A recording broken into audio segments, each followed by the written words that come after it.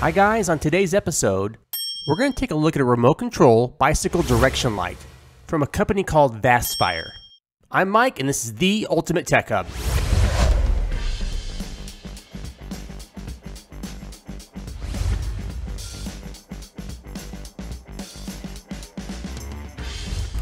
So guys, we know how important bicycle safety is. And we know bike lights can provide a measure of safety in dark conditions or especially at night. So today we're going to unbox, install, and test these intelligent taillights from Vastfire. Before we unbox the taillight, let's take a look at the specs first. This taillight has three different features. A red warning light, a red and blue warning light, and left and right turn signals. The product features are highlight lamp beads that make night riding more eye-catching, a double warning escort, left and right turn signals and brake warning lights, USB intelligent charging, a quick and easy installation, and lastly an IPX5 waterproof grade. So this light should handle some water. This is the operating manual for the light kit, which goes over the setup of the remote and the charging of the light. Let's open the box and see what's inside. First thing you get is the remote, and attached to the remote is a bracket that installs to your steering wheel.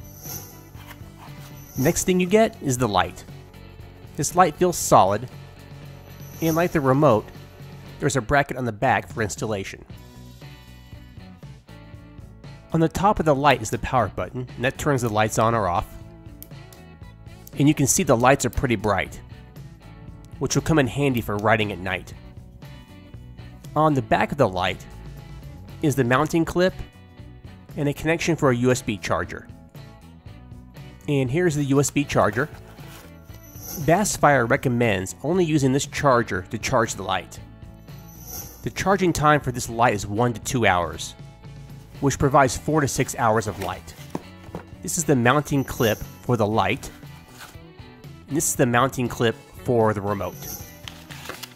And here's more instructions for the taillight.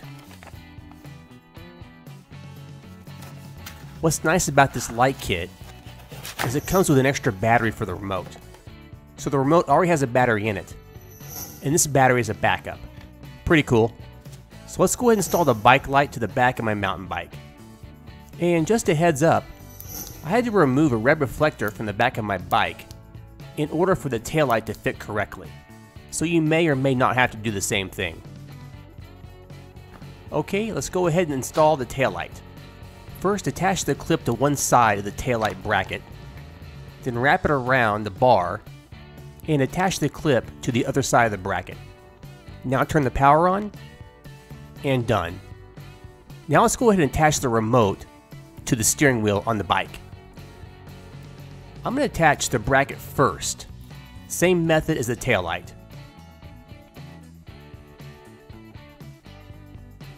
Now simply attach the remote to the bracket. This snaps in.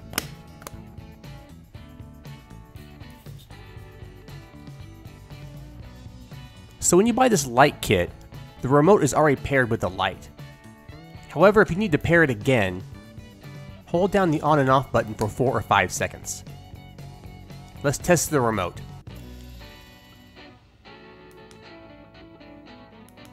And all the lights work. So now we're going to test the bike light at night and see how bright it really is. We'll also see how easy or difficult it is to use the remote while riding our bike. So in my neighborhood, there's no street lights. So it gets pretty dark at night, and riding a bike at night can be dangerous. And as you can see, the lights are pretty bright. That red is really bright. And as I drive off, you can see the lights pretty far away. I would say it's about 150 feet away. One thing about the remote, I would definitely put the remote closer to your hand.